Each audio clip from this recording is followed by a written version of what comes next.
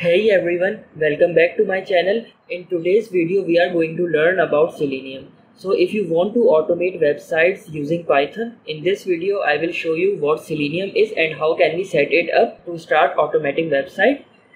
No experience needed, so let's go. Let's start. So the first question that we have in mind that what Selenium is. So basically we have the simple definition of Selenium here so basically as we see that Selenium is a powerful tool that lets you automate web browsers. It can click buttons, fill out forms, download files and even log into websites just like human. It's perfect for web scraping, testing and automating boring web tasks and best of all, it works with Python. So how can we set it up in our system? So let's get back here and open our terminal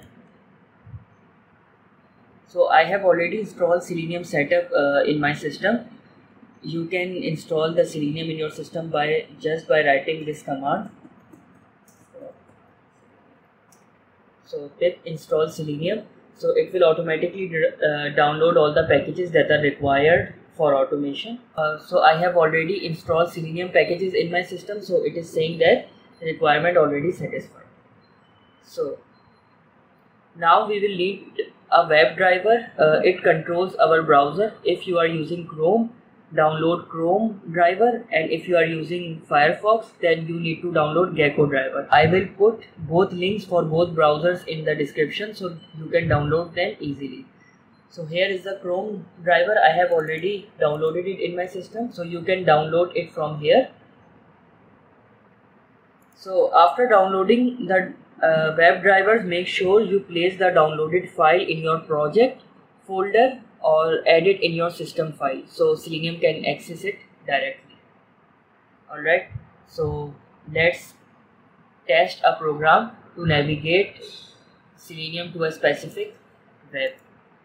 All right so i'm going to write it uh, from selenium import WebDriver so the WebDriver that we have already downloaded into our system it is selenium is calling the WebDriver and then i'm going to create a variable called driver and in this i'm going to call the method WebDriver dot chrome. So i am using chrome for this test program. You can also use firefox. It will work same. All right so and then i'm going to use driver dot get method. So to get into a specific website so i am going to i want my program to navigate to google without my intervention.